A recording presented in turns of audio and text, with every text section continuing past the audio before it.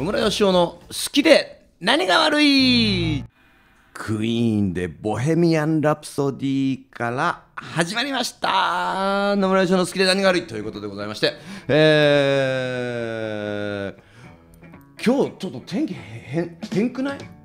変変だよね。今日もたくさんのお客様が、えー、スタジオの外で見ててくれてるんですけれども、えー、東京はそんなあのー、なんか暑くもなく寒くもなく雨が降ってるとこがあったりとか降って晴れてたりとかっていうすごく不思議な天気だったりするんですけどなもうこう本当着るものに困る。上着がでも必要かな。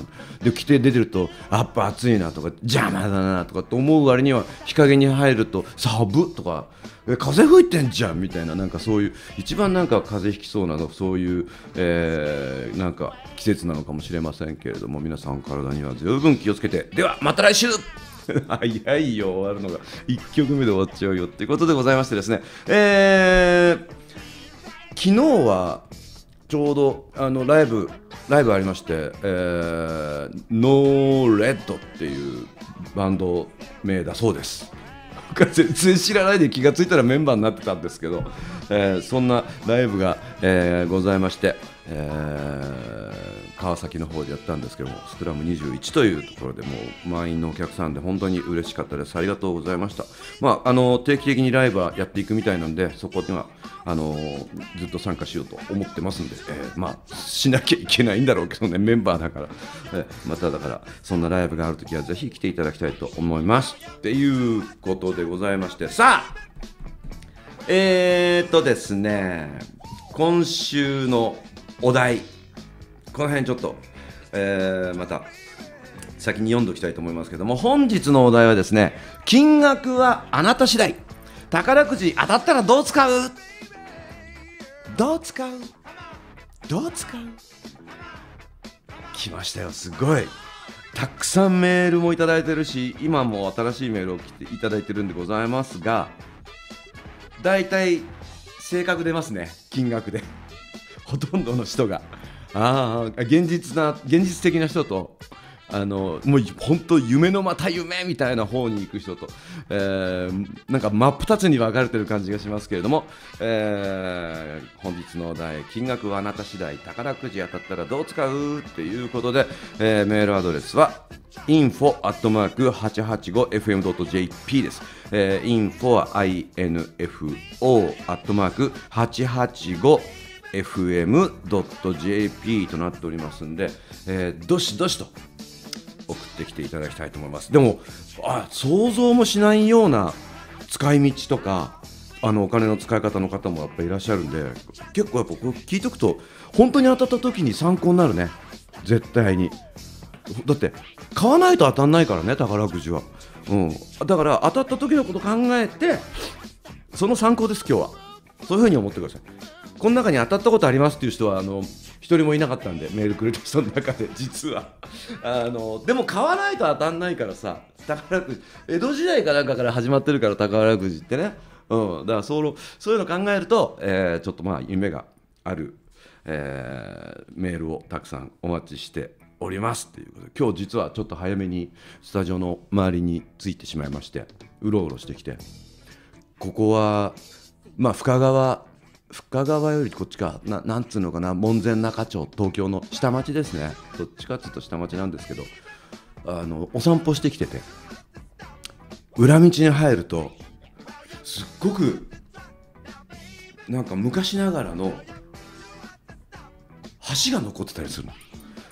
赤い真っ赤なちょっとこう少し湾曲になってる橋とかが残っててそれ橋を登ってあの向こう側に渡るちっちゃな橋ですよちっちゃな川の。これで向こう反対側には反対岸に渡るとそこに、えー、船宿っていうのがあったりしてす,、えー、すっげえかっこいいと思って。船宿ってけその船船で到着した人が泊まる宿でしょきっと。船宿。でそこにあのー、なんだっけ船で天ぷらやってもらうの。あのー、ちょっと一周しながらさあるじゃん。ああそう。そこの船宿屋さんののれんのとこに「屋形船」って書いてある。あいいな。あのね実は屋形船乗ったことないんですよ。もし宝くじで10万円当たったらリスナー1人と招待で屋形船。夢ですから。ええ夢ですから。はい。行きません。やっぱりやめます。やめます。この人たちとは行きません。ここにいる人たちとは行きません。なるべく行きません。ええ。一人で行きます私。一人で行って自撮りいっぱいする。自撮りと何？料理。ほいで自分が今度そういうのやってるとこ気持ち悪くなるから気持ち悪くなってるところの写真動画。船酔い。船酔い動画。ね？撮っときますよ。ほいで今度はみんなも船酔い見てる人を船酔いさせなきゃいけないからあの海の方に向かってわざとこう少しずつこう揺れながら画面揺らしながら画面揺らしながら動画撮ってきます。ということでございまして本日のお題は、えー金額はあなた次第。宝くじ当たったらどう使う？ということで皆さんからのメールたくさんお待ちしております。それでは曲の方に行きたいと思います。きっとこの人だったらどう使うんでしょう？配り歩くね。宝くじ買わないか。買わないな絶対。絶対買わないと思う。お届けしましょう。ジョン・レノンで。マザーさあジョン・レノンに続いてはアバで。マンマミアでございました、えーあこれなんかミュージカルとかになったりとかしてるもんね。マンマミアはね、うん、ということでございましていきますよ。よち散歩ちょっとこう力抜けちゃった。力抜けちゃった感じがねあれですけど。さあ、えーここのとこ最近どこをお散歩しましたか？私今日の歩数まあそんな言ってないだろうな。あいあんま言ってない。マジ？嘘だ。マジ？2000おいおい。2676歩。え？そんなに歩いてない？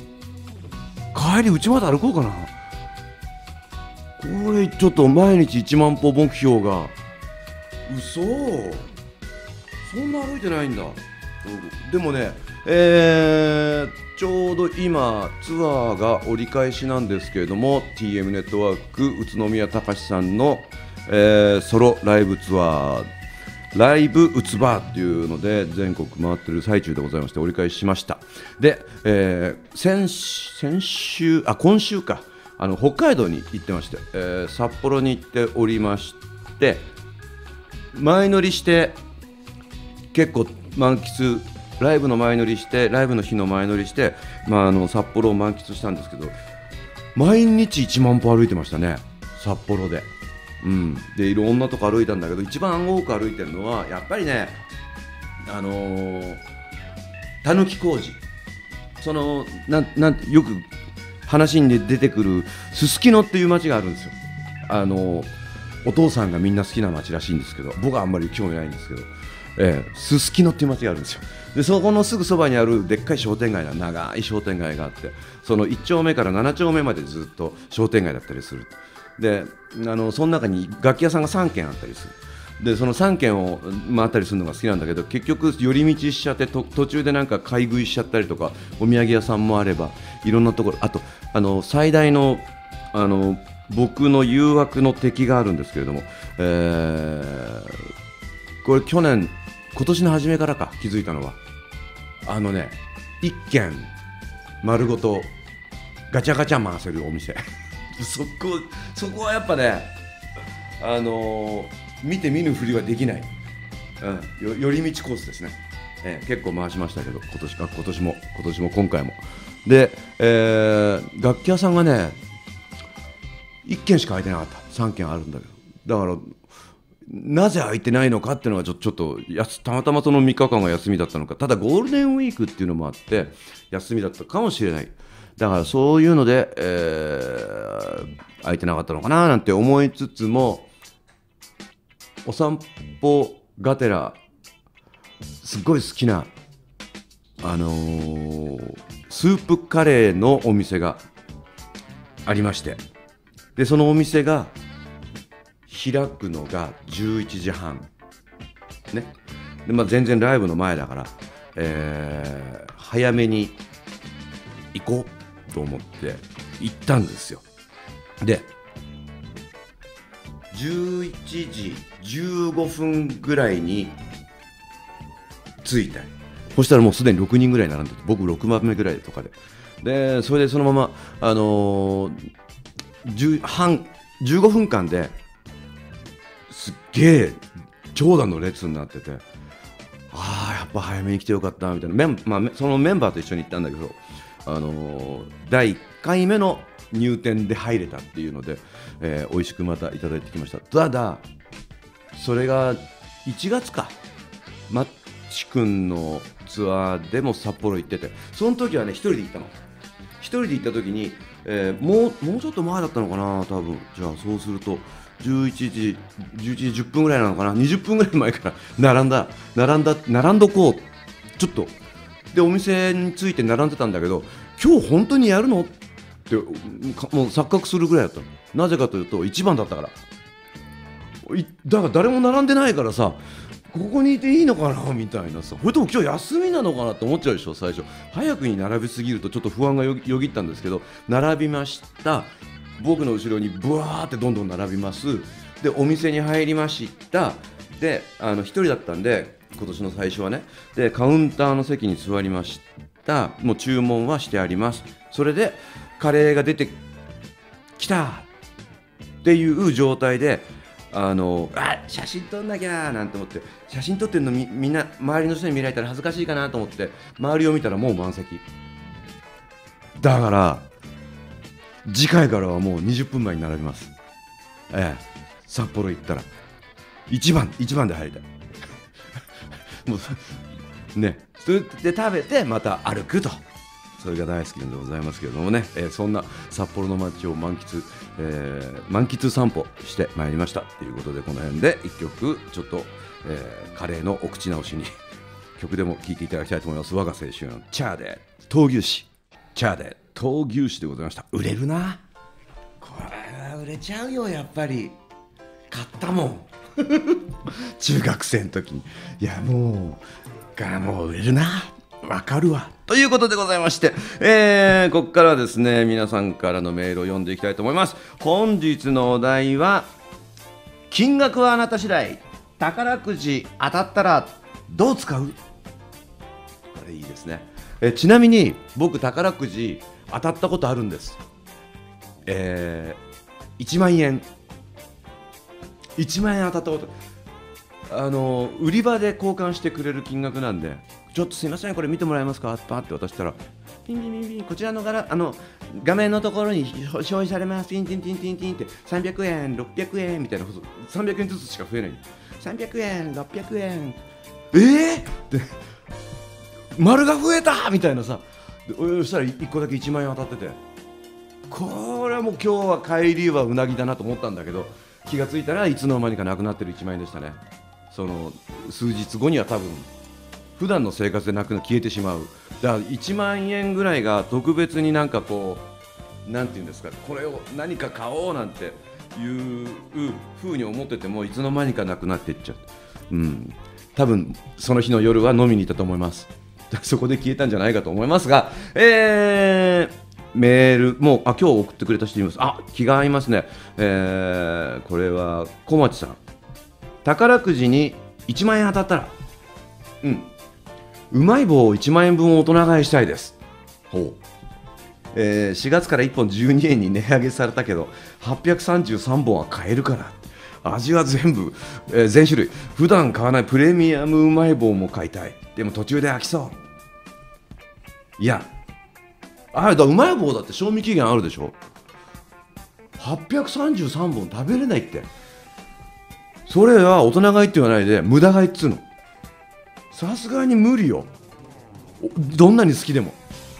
ね。半分ぐらいにしなさい。半分ぐらい、うん、400本でも多い。うまい棒を100本買おう。ね、残りは何か美味しいご飯食べるとかって考えましょう。さあ、えー、メールもたくさん来ております。ありがとうございます、えー、いきたいと思います。お。えみこさん、えー、宝くじ当たったらどう使う？金額は？100万円。いいですね。100万円ぐらい当たって当たってみたいよね。100万円、えー、その1旅館にあるような高級マッサージチェア30万円をゲットする。現実的でいいじゃん。すごく、えー大型の 4K テレビとスピーカーをゲットして映画やライブ DVD を見る。4K って何？こういうなんかそういうそういうクオリティなの？もう全然テレビのことわかんないからさ、うん、そうなんだね。すごいいいテレビだなああいいテレビなんだ。そうか、えー露天風呂付きのお部屋でゆっくり美味しいものを食べてくつろぐ露天風呂付きのお部屋ってことでこれ旅行ですねきっとね。旅行にも行こうとしてますということで。これはでも叶うんじゃないですか？本当に100万円当たったら叶えること。現実現実的な感じがします、えーラジオネーム K さんいただきました。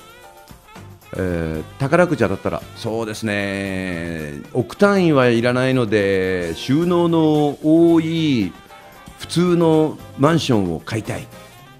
3000万円くらい？今の家が物で溢れているので整理するよりそっくり引っ越ししたい。そっか。うん。だからいくらこれ3000万円ぐらい当たってる予定なんだねきっとね。うん。まあまあ買えますよ。全然買えますよ。3000万円あったら。でも3000万円で買ったマンションに今のお家のもの全部持ってったら多分同じぐらい救急になるかもしれない恐れありなんでぜひ気をつけていただきたい。あ結構ね現実派いますね。えー、直江さん。100万円当たったら家のグラス類を捨てて全部バカラに買い替えます。お酒はもちろん麦茶を飲んだり普段使いにします。バカラ以外のグラスは使いませんのよ。おーほほほほと心の中で叫びたいです。バカラを使ったことあるかな？あのねちょちょっとした飲み物を飲むのにすっごい重いんだよ。だから疲れるから。本当に。そうゆったり飲むにはあの重量感あっていいけど結構重たい重たいよ。家中のグラスそれにしちゃうと。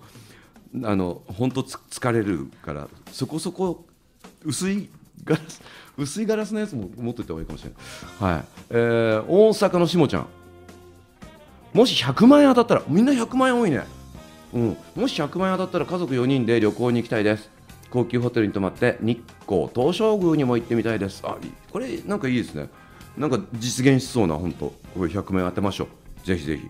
えーまあいっぱいいっぱいなんかそういう、うん、来てる。どんどんよんどんどん読んでいこう。うん。これがねぷくぷくみさん。えー高額当選したら。これだって高額当選いくらか金額的なものはないんですけど高額当選したらディズニーリゾート1週間連泊。これが夢なんで絶対夢実現します。それと、えー、吉尾さんのライブツアーに全部参加したいです。ああそうですか。いくらなんだろう。こ、まあ、金額がな金額がいくらかだったらいろんなことが話せるかもしれないけどでも高額の金額がわからないぐらいの夢なんだろうね。そう金額がね。えー、マチューさんいただきました。高額当選より小金狙いで30万円くらいが嬉しいな。職場に高いケーキを差し入れてご機嫌取る。近くの露天風呂付きの高級ホテルに一人で泊まる。ああのんびり。ウクレレを買う。あまあ30万円ぐらいあったら叶うような感じどうしようかな。この先 鼻出ちゃった。この先あんまりリアルじゃないものがこういっぱいでだんだん来るんですけど。ひとみさん。ね、えーどうせ当たるなら1等7億。当たる人いるわけでしょ？でも。ねもちろん。だから1等7億。もしそんな大金手に入れることができたならま迷わず個人馬主になっていつか競馬場で自分の馬が走る様子を生で見たい。前に馬が好きで興味本位で個人馬主について調べてみたら資産や所得金額宝くじでもにでも当たんなきゃ到底馬主さんにはなれないんだなと思い知らせました。ああそうなんだ。美しい馬は見てるだけで十分なんですよねきっと。って書いてありますけど。知り合いで共同馬主さんの人がいたけどね。何人かであのいくらか出し合ってっていう。そ僕の周りに2人かな。2人か3人いたな。馬乗ってんだよ。全く僕がそのこと分かんないからへえで終わっちゃったんですけど、えーもうちょっとこうなんかあれなんだろうね。リアルなあの俺すごいんだぜみたいなアピールだったんだと思うんだけど。反応があまりにも薄すぎてその話をもうその次からしてくれませんでしたその友達は。えー、メール来てます、えー群馬のプーコさん。うん宝くじ。新あのねあのー新車が買いたいんだよ。だってもう10万キロ超えた。あのでツートーンのキャンバス欲しい。1回しか行けてないハワイにもう一度挙式と新婚旅行を兼ねて行きましたが10年パスポートも一度も使わずに終わりました。ゆっくり全島を回りたい。でウクレレでヨッチャにくっついてウクレレフェスティバル行きたいな。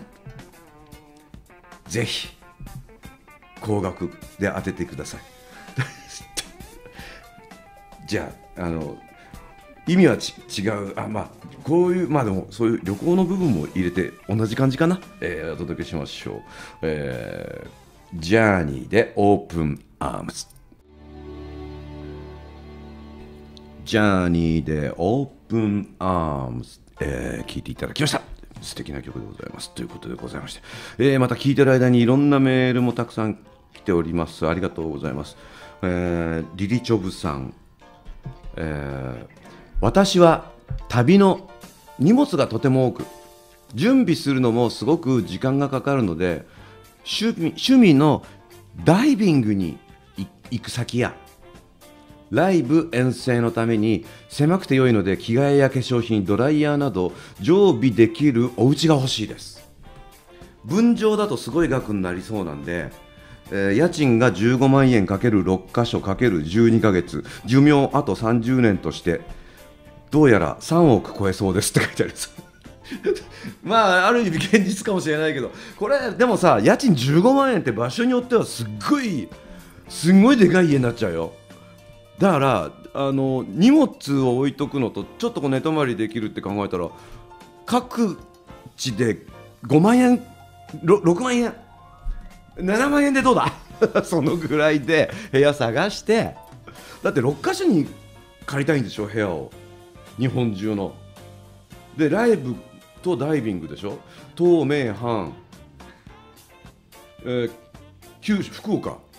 ねよく感じ考えると仙台か札幌かまあ北の方ね。できっとダイビングするんでこれは今度ライブじゃなくて趣味で沖縄でしょ。大抵そのぐらいの6か所ぐらいだと 思いますけどね。そんなかかんないよ。そんなだからそういうの考えたら場所によってはもう全然そもっと安い。一回でもマジで調べてみたら面白いよね。あのせめてこのぐらいの広さとかさ 1DK ぐらいとかさ2部屋が欲しいなとかさそういうのでさ各地で同じような条件でいくらぐらいなのかっていうのを調べてみると面白いかもしれませんよ。ぜひぜひ、えー実現させていただきたいと思いますけど。さあ続きまして。えー、カイファさん。そうですね。あの夢は大きく10億円。うん。使い道は僕ちに半分あげちゃう。はい正解。え僕いくらになるの？そうすると僕いくら？5億円。ね。それで、えーで半分上げちゃってリアルな予知バーとミニライブステージを作って。ってで4億5千万は、えーうちのその予知バーの並びに土地を買って子供たちとおじいちゃんおばあちゃんたちが喜ぶ楽しい場所を作って残りの5千万は我が家のリフォーム代と残りのローンの払いに回させて中華さん残りの5000万って5000万でもう家買えちゃうんだけどだからリフォームとかしなくていいんじゃない？あの普通にお家作れるんだけどね。土地があったりとかするとさでローンも返せるんじゃないかな。うんありますけどね。まあ一応僕ここで今えっ、と5億円はキープできたんで今日も番組ここで終わってもいいかなぐらいの気持ちなんですけれども、えーもうちょっと読んでみますか。ねえー続きましては三重たん。1億円当たったら。小さくてもお庭のある一軒家に引っ越ししてお花や野菜を育てて癒される景色を眺めてお茶を飲んだりビールを飲んでくっつろぐ。地元にいつもいつでも帰りたいので雪国でも雪かきをしなくてよいようにマンションを買う。これ雪国の人なんですね。ねきっと。地元の方はそうか。地元に帰るときは主人に野菜とお花のお世話をしてもらいます。これいいじゃないですか。お庭のある一軒家。ね1億あったら余裕で買えますからねいろんな場所で。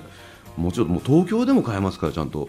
庭付き一戸建てなんて、えー、あもう当てましょう。これは当てた方がいいね。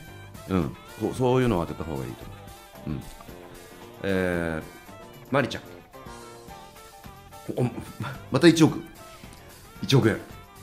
1億円当たったら家族に内緒で音楽と映画を思う存分楽しめる自分だけの部屋借りる。借りる。借りるんだ。買えるっつうのだから。買えばいいじゃん。なんでこう借りるんだろうね。1億あったら買えるって余裕で。ええ。ー、まあいいんじゃないですか。こうそういうなんか自分だけのねスペースってやっぱこうすごい素敵だからね。から自由にできるわけでしょ、うん、だでも1億あったら絶対買えますからね、えー、あ次。メール来てます。えー、横浜のみっちゃん。宝くじ当たったら10万円以上だったら母母親との約束契約で1割母にあげることになってます。残りは私のものです。貯金します。そうですか。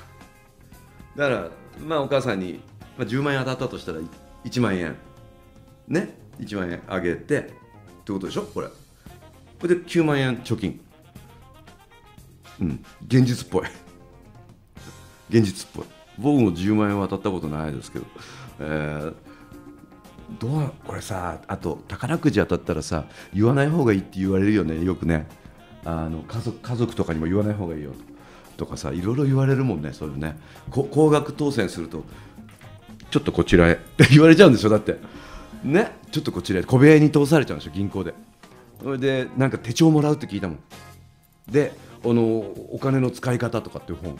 うん。だからそそれであのー、なんかなんかちゃんと読んでくださいねみたいな。だって急に急に1億とか手にしちゃった日にはさどうするよ？急に会社辞めちゃうとかいう人いるでしょきっと。でそれでバレちゃうんでね。でも1億ぐらいで贅沢な暮らしを明日から急に始めたとしたら意外と早くなくなっちゃうんじゃないかなと思いますね。うん、今の生活感のままみたいな風にちゃんとこう生活するのが一番じゃないかと思いますけれどもね。ということでございましてですね、えー、あいろいろありますもう本当にいろんなことみんな考えてますねただライブに行きたいとかライブやりたいとかっていうのもたくさんたくさんなんかあのありますけどんあこういうのがあるんだ。これちょっと一個読んどこうかな。またメール来ました。えー、お名前はないですね、これね。あ、ゆうけんさんいただきました。えー、もしも宝くじで1億円当たったら、まず何と言っても、住宅ローンの残りを一括返済する。やっぱ現実なんだね、これね。えー、そして残ったお金は老後の資金に取っておく。人生100年時代。子供たちに迷惑かけたくないので、ああ、なんか現実すぎて夢がないけど、って書いてますね。で、であの実は現実では最高当選額は5万円だってこれも何を買うでもなくなんとなくなくなっちゃいましたこの金額だとそんな感じなのかな？って書いてますけどそんな感じですね僕の知り合い知ってる人で酔っ払ってその帰りに宝くじ屋さんの前で宝くじを1枚買って当てて、えー、家のローン返済して外車買ったやついます 1枚ですげえなと思いましたけどね。ということで、そういう、そういうことも、それも現実でございますけれどもね。ということで、えー、この辺で曲いきたいと思います。ザ・ショーマスト・ゴー・オン。ショートビステンパクリバーサイドロックンロールバンドで聴いていただきましてありがとうございます。ということでございまして、もうそろそろお別れの時間がやってまいりますが、えー、次回の放送はですね、6月4日になりますね。これ実はまた田村さんに、えー、スイッチでございます田村さん僕ライブかなんかでもうお姉さんにお願いするしかないんですよ実のところを言うとでそうすると田村さんはいつも第3土曜日なんでそれが僕になるんで私は今度は6月18日になります。ということでその田村さんの時のお題っていうのを、えー、今出したいと思います。これもうだって今日なんかまだ過ごしやすいような感じだけどちょっと湿気が多いよね。すっごく。なんかそうそういう感じありますが1ヶ月後でしょ？1ヶ月後はもう一月後なんて確実に暑くなってると思うんでお題はあなたのひんやり対策法。これぜひ田村さんに教えてあげてください。ね一つのなんか目安になるんじゃないかななんて思いますけどあなたのひんやり対策法。僕はもうすごい簡単です。クーラーのスイッチを入れる。もうでその部屋から出ない。全然参考にも何にもなんねえじゃないかっていうね、えー、のもありますけどもねということでございまして。あとはもう来週からまたあのそのままずっとツアー続いている来週は、えー、うつばかライブうつばが今度東京でございますんでもしお時間のある方あのいらっしゃいましたら遊びに来てくれたらなと思います。ということでお送りしてきましたエモーショナルビートそろそろお別れの時間でございますということで、えー、この時間のお相手は私野村義雄でございました。この番組は WR ベレベルの提供でお送りしました。宝くじ当たれ。